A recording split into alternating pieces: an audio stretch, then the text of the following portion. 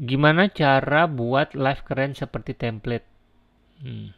Itu pakai OBS. Uh, OBS itu adalah Open Broadcast uh, Software.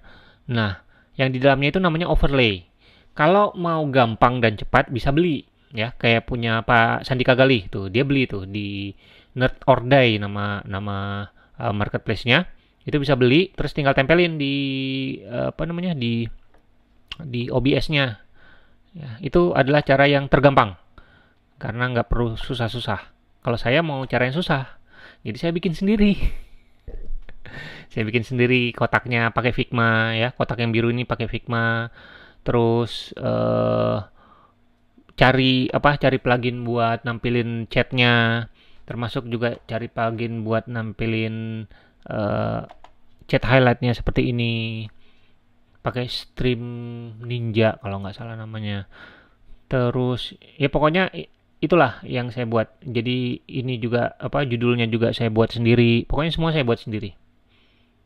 Kerajinan aja. Dan sering sekali ganti-ganti ya. Ini uh, cukup sering saya ganti-ganti uh, apa namanya overlaynya. Jadi kata kuncinya adalah overlay. OBS overlay atau Twitch overlay. Cari aja dari situ